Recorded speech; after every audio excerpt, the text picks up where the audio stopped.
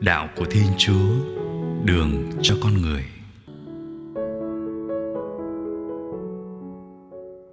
Nhiều người nghĩ đạo là bảo hiểm quan trọng và cần thiết mà mỗi người nên mua để bảo đảm thiên đàng và sự sống đời đời cho riêng mình sau khi chết. Đạo thuần túy chỉ là việc thờ phượng thiên chúa xa cho phải phép để khỏi mất linh hồn xa hỏa ngục.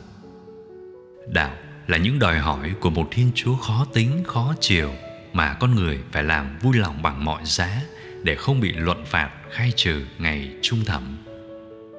Những ý nghĩ về đạo vừa kể xem ra không mấy tích cực khi chỉ nhắm đến thiên chúa với những đòi hỏi của ngài, hoặc để làm vui lòng ngài, hoặc bất đắc dĩ phải làm vì một đe dọa ngày đêm đeo bám, đó là không được lên thiên đàng. Và nỗi sợ làm héo úa đời người, đó là mất linh hồn xa hỏa ngục ở với ma quỷ đời đời. Nghĩ về đạo một cách đơn giản như thế là một nguy hiểm. Nguy hiểm vì đạo sẽ bị giảng lược vào những đòi hỏi của giáo điều thần bí, luật lệ luân lý và nghi thức thờ phượng mà bỏ quên đạo là gặp gỡ thiết thân trong tình yêu, là hiệp nhất nên một, hiệp thông trọn vẹn trong tình yêu của mỗi con người với Đức Giêsu.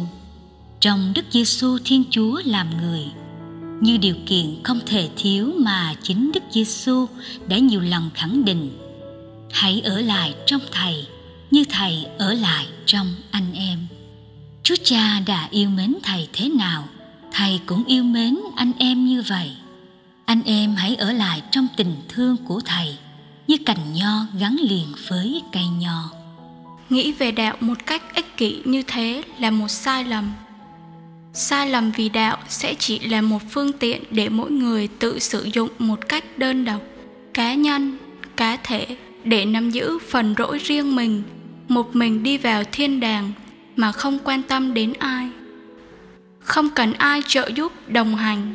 Sai lầm này sẽ đặt mỗi người trước câu hỏi không thể trả lời của thiên chúa. Như cain đã đứng hình tắt tiếng, chết lặng khi gia vê thiên chúa hỏi anh, aben, em ngươi đâu? Và cain chỉ còn nước chạy tội bằng nói dối. Con không biết bộ con là người giữ em con sao? Quả thực, số phận đời đời của mỗi người luôn gắn liền với số phận của nhiều người khác, bởi bổn phận của tất cả là thương yêu nhau. Vì tất cả là chi thể của một thân thể duy nhất, nên không có chia rẽ trong thân thể. Trái lại các bộ phận đều lo lắng cho nhau. Nếu một bộ phận nào được vẻ vang, thì mọi bộ phận cũng vui chung. Nghĩ về đạo một cách tiêu cực như thế là một xúc phạm nặng nề đến thiên chúa. Vì thiên chúa không hề ghét bỏ, thù oán, căm giận con người bao giờ, để phải đe loi, dọa dẫm, rình rập, tìm cách trừng phạt, tiêu diệt. Trái lại tình yêu của thiên chúa đối với chúng ta được biểu lộ như thế này. Thiên chúa đã sai con một đến thế gian để nhờ con một của người mà chúng ta được sống. Nên đạo không là đòn thủ của thiên chúa, không là món nợ, thiên chúa đòi con người phải thanh toán, cũng không là oán phạt con người phải một đời ẩn lưng đền trả. Nghĩ về đạo một cách nông nổi như thế là tự đào hố chôn mình vì đạo không là con đường được làm ra cho thiên chúa. Vì thiên chúa không cần có đạo, giữ đạo, đi đạo, nhưng đạo được làm ra cho con người, là đường dành cho con người đi gặp thiên chúa, nguồn hạnh phúc của con người. Nên khi cho rằng đạo không đem lại hạnh phúc cho con người, ngoài đảm bảo một lợi ích tiêu cực, là tránh cho con người nguy cơ có thể xảy ra, là bị ném xuống họa ngục, thì quả thực đi đạo là đường dài thấp thỏm lo âu. Giữ đạo là nơm nớp nỗi sợ có thể bị khai trừ luận phạt. Bởi một thiên chúa chỉ nghĩ cho mình khi ki cóp nhặt nhụng từng chút vinh quang từ con người vốn bất toàn yếu đuối. Nghĩ về đạo một cách chật hẹp gò bó như thế là phủ nhận mầu nhiệm làm người của Đức giê -xu, người hai Thiên Chúa, khi đạo không còn là nơi gặp gỡ, điểm hẹn hò, nhà của Thiên Chúa và con người.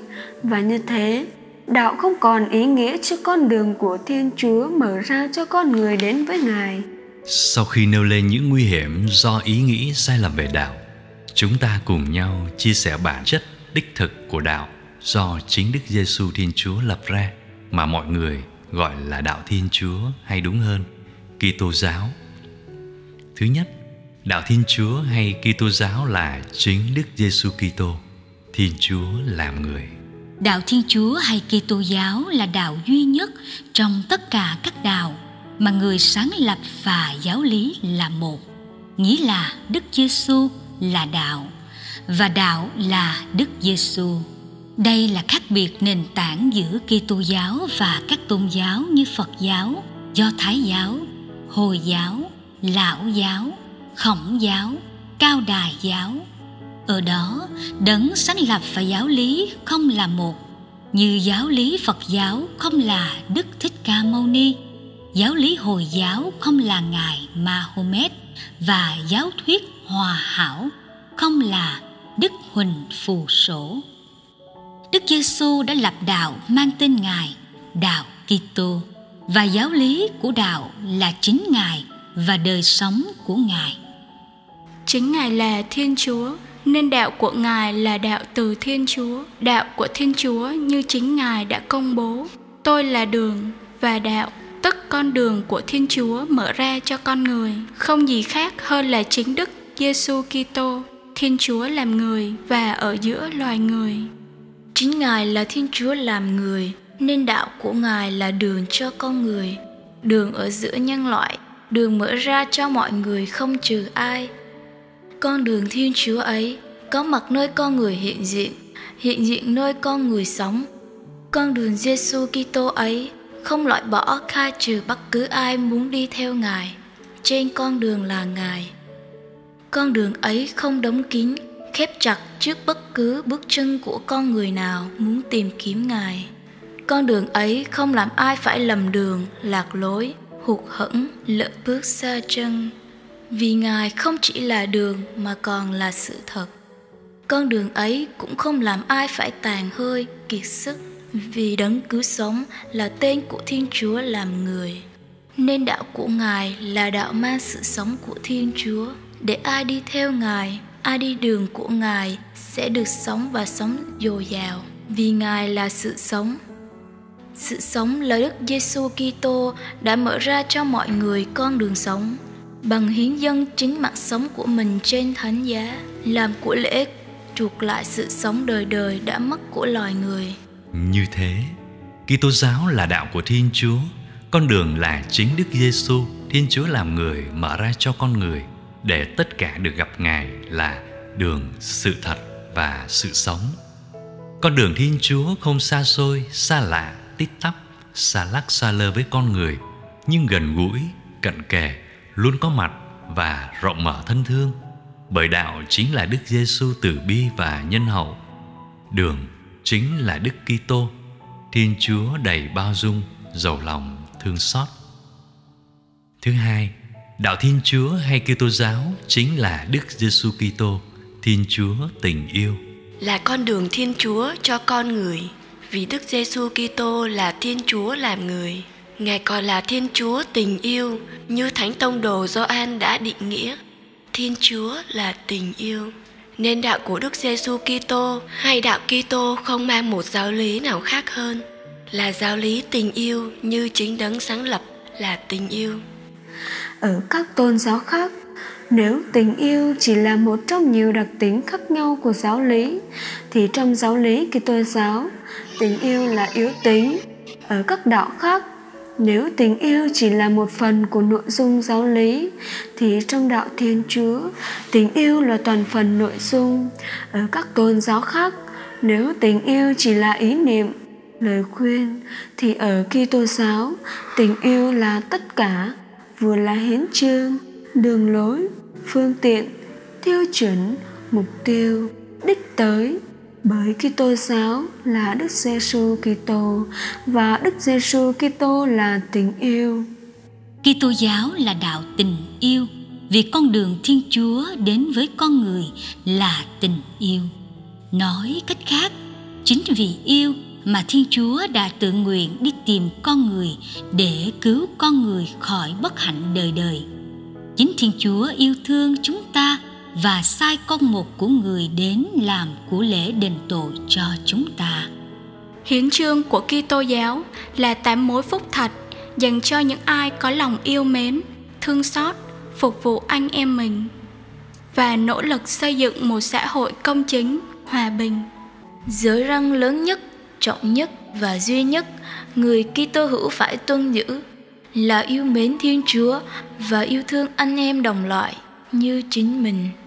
Kinh nghiệm của người cư tư hữu là tâm tình yêu mến của con cái dâng lên Thiên Chúa là cha nhân từ, là này xin ơn tha thứ những xúc phạm, thiếu sót trong bổn phận yêu thương đối với anh em đồng loại, là ước nguyện thoát mọi cạm bẫy, cám dỗ của thần dữ, là ganh ghét, hận thù, bạo lực tiêu chuẩn tính sổ cuộc đời đối với người môn đệ Đức Giêsu sau khi chết để được nhận vào vương quốc của Thiên Chúa là những việc tốt lành, từ thiện, bác ái mà người tín hữu đã làm cho những anh em bé mọn, nghèo hèn chung quanh mình khi còn sống. Và vì là đạo tình yêu, Kitô giáo đi đến cùng của logic tình yêu là không xét đoán ai để khỏi bị Thiên Chúa xét đoán thứ dài dài và mãi mãi.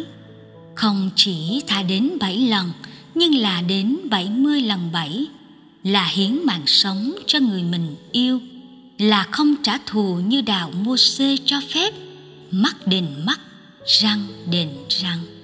Trái lại, nếu bị ai vả má bên phải, thì hãy dơ cả má bên trái ra nữa.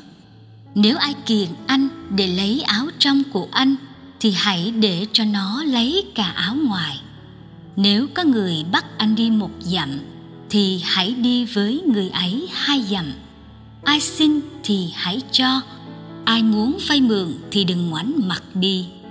Là yêu cả kẻ thù và cầu nguyện cho những người ngược đãi anh em. Như vậy, anh em mới được trở nên con cái của cha anh em đấng ngự trên trời vì người cho mặt trời của người mọc lên soi sáng kẻ xấu cũng như người tốt và cho mưa xuống trên người công chính cũng như kẻ bất chính. Tóm lại, Kitô giáo là đạo yêu thương, yêu đến cùng và tận cùng của logic tình yêu. Chính ở tận cùng của logic tình yêu là tha thứ, yêu thương cầu nguyện và chúc phúc cho cả kẻ thù mà người đi theo Đức Giêsu được trở nên hoàn thiện như Cha trên trời là đấng hoàn thiện.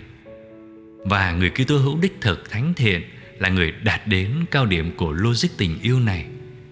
Tha thứ và yêu thương cả kẻ thù như Đức Giêsu đã tha thứ cho tất cả những ai làm khổ Ngài trong lời cầu nguyện sau cùng trên thánh giá. Lạy Cha, xin tha cho họ vì họ không biết việc họ làm. Thứ ba, đạo Thiên Chúa hay Kitô giáo là đạo cho con người, đường của con người. Không tôn giáo nào đề cao con người, chăm sóc con người và mưu tìm hạnh phúc cho con người bằng Thiên Chúa giáo. Như Đức Giêsu đấng sáng lập Kitô giáo đã suốt đời tranh đấu cho quyền làm người của mọi người, quyền khỏe mạnh cho người đau bệnh, quyền được yêu thương cho trẻ em, quyền được che chở, bên vực cho người phụ nữ trong xã hội bất bình đẳng giữa người nam và người nữ, quyền di trú cho người ngoại quốc, quyền sống tự do cho những người bị xã hội chà đạp, dập vùi, bỏ rơi, bắt làm nô lệ, quyền được tha thứ, cứu độ cho người tội lỗi, quyền làm con thiên chúa và hưởng gia sản nước trời cho tất cả mọi người không loại trừ ai sự sống con người rất quý giá và bất cứ lề luật nào cũng phải nhường bước và bảo vệ vì thế Đức Giêsu đã bất chấp luật cấm chữa bệnh trong ngày sa bát của luật Môse khi chữa người bị bại tay trong ngày sa bát. Ngài đã bị đám luật sĩ tôn thờ lề luật và coi luật trọng hơn con người, bắt bẻ, tố cáo Ngài bằng cách sách mé hỏi Có được chữa bệnh ngày sa bát không? Đức Giêsu đã thẳng thắn trả lời họ: Ai trong các ông có một con chiên duy nhất bị xe hố ngày sa bát lại không nắm lấy nó và kéo lên sao? Mà người thì quý hơn chiên biết mấy. vì thế, ngày sa bát được phép làm điều lành việc lành đây là bất cứ việc gì đem lại lợi ích, hạnh phúc cho con người và Đức Giêsu đã không ngại ngùng đặt lề luật Môse mà bấy lâu người Do Thái cho là giá trị tuyệt đối. Vượt xa con người dưới quyền lợi đích đáng của con người và phải phục vụ con người. Ngày sa bát được tạo nên cho con người, chứ không phải con người được làm nên cho ngày sa bát. Con người làm chủ luôn cả ngày sa bát. Điều này có nghĩa con người làm chủ cả lề luật và lề luật phải đứng sau con người và phục vụ quyền sống, quyền làm người, quyền làm con Thiên Chúa của con người. Nếu không, lề luật sẽ chỉ là những luật lệ phi nhân cần phải loại bỏ. Quyền sống của con người rất quan trọng và bất cứ cơ chế nào cũng phải bảo vệ trân trọng. Đó là lý do Đức Giêsu đã một lần nữa bất chấp cơ chế luân lý của đạo Do Thái để giành lại quyền được sống cho người phụ nữ ngoại tình bị bắt quả tang đang hồi hộp run rẩy chờ bản án tử hình bằng ném đá. Trước thái độ và luân lý cứng rắn, đanh thép của những người quyết liệt bảo vệ cơ chế luân lý bất khả xâm phạm, đang chờ đợi ở Đức Giêsu một thái độ.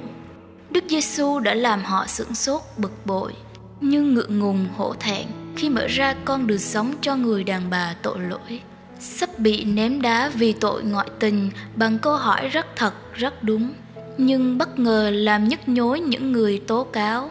Lên án, triệt tiêu đường sống của phạm nhân. Ai trong các ông sạch tội thì cứ việc lấy đá mà ném trước đi. Nghe vậy, họ bỏ đi hết. Kẻ trước người sau, bắt đầu từ những người lớn tuổi. Phẩm giá con người là giá trị phải được trân trọng. Nên làm tổn thương, xúc phạm phẩm giá con người là một trọng tội. Đức giêsu đã bất chấp những thị phi của các ông Pharisêu khi họ trách ngài với các môn đệ và tỏ ý khinh khi những người thu thuế và tội lỗi. Sao thầy các anh lại ăn uống với bọn quân với bọn thu thuế và con tội lỗi như vậy? Và quân tội lỗi như vậy. Nghe thấy thế, Đức Giêsu nói: Người khỏe mạnh không cần thầy thuốc, người đau ốm mới cần. Vì tôi không đến để kêu gọi người công chính mà để kêu gọi người tội lỗi đi lại, gần gũi, ăn uống, chuyện trò với những người bị đạo cũng như lời khinh bỉ, nguyền rủa. Tẩy chay, cô lập khai trừ. Đức giêsu đã công khai thái độ kính trọng, cảm thông, thương mến. Những con người bị coi là vô tích sự, hư hỏng. Vì với ngài, không ai là người đáng bị bỏ đi.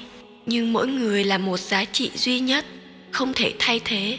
Mỗi người là một kho báu trước mặt thiên chúa mà không một quyền lực nào dù là thần quyền có thể coi thường phỉ nhổ lên án hủy hoại.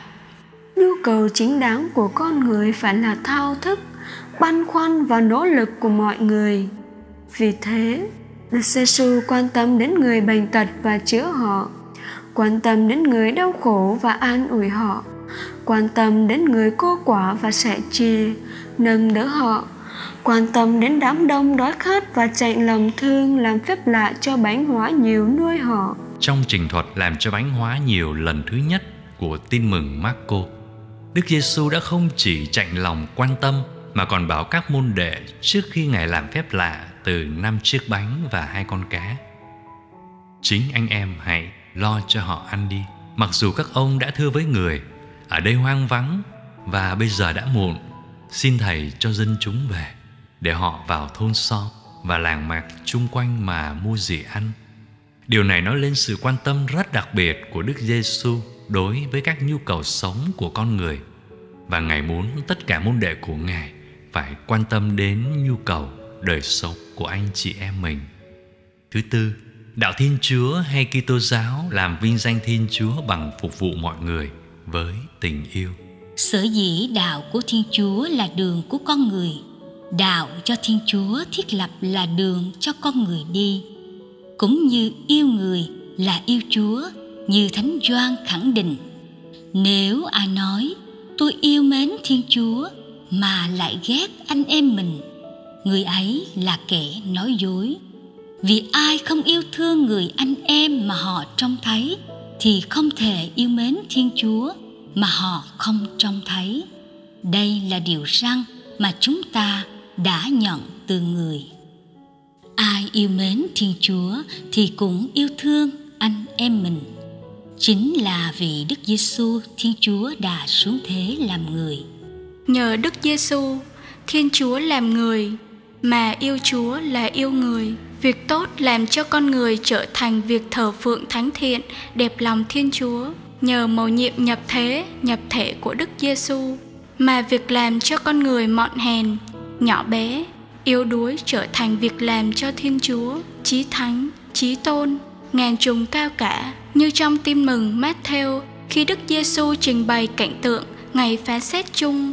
Ở đó, Thiên Chúa sẽ nói với những người lành được chúc phúc và vào nước trời vì đã sống yêu thương, phục vụ những người anh em đói rách, bệnh tật, đau khổ, tù đầy, di cư. Mỗi lần các ngươi làm như thế cho một trong những anh em bé nhỏ nhất của ta đây là các ngươi đã làm cho chính ta vậy. Vì Kitô giáo là chính con người Đức Giêsu Kitô, dung mạo đích thực và sống động của Thiên Chúa tình yêu. Vì đường Đức Giêsu đi là đường tình yêu, vì lẽ sống của đời Đức Giêsu là tình yêu, nên việc làm trong cuộc sống của Đức Giêsu là tình yêu phục vụ, nói đúng hơn là phục vụ trong tình yêu. Nhưng tại sao đường tình yêu dẫn đến đời phục vụ? Thưa, vì tình yêu đích thực nào cũng muốn phục vụ người mình yêu. Tình yêu nào cũng thúc đẩy đi tìm hạnh phúc cho người mình yêu. Chính hành động đi tìm hạnh phúc cho người mình yêu với tình yêu nồng nàn tha thiết sẽ biến tất cả việc làm dù nặng nhọc vất vả đến đâu cũng thành niềm vui phục vụ niềm vui được ân cần chăm sóc người mình yêu niềm vui được tận tụy lo toan cho người mình yêu. Niềm vui được chung vai sẻ chia, gánh vác với người mình yêu. Do đó, tình yêu nơi thiên chúa, đúng hơn thiên chúa tình yêu, làm nên đạo tình yêu cũng làm nên đạo phục vụ, do đòi hỏi của tình yêu.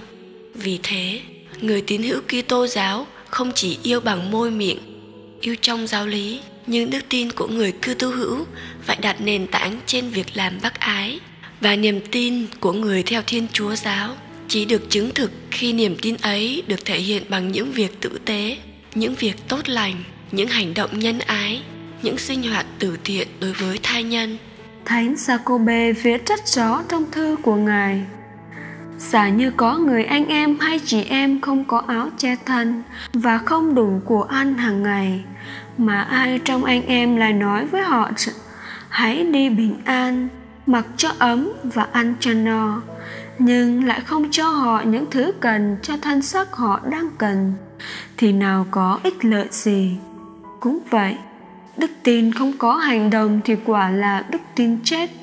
Đáng khác, có người sẽ bảo, bạn có đức tin, còn tôi tôi có hành động. Bạn thử cho tôi thấy thế nào là tin mà không hành động. Còn tôi tôi sẽ hành động để cho bạn thấy thế nào là tin. Bạn tin rằng chỉ có một thiên chúa duy nhất. Bạn làm phải. Cả ma quỷ cũng tin như thế và chúng run sợ. Hỡi người đầu óc rỗng tuếch, bạn có muốn biết rằng đức tin không có hành động là vô dụng không? Thực ra, thánh Jacobe chỉ quan diễn điều đức giêsu đã truyền cho các môn đề của ngài. Anh em biết thủ lãnh các dân thì dùng uy mà thống trị dân.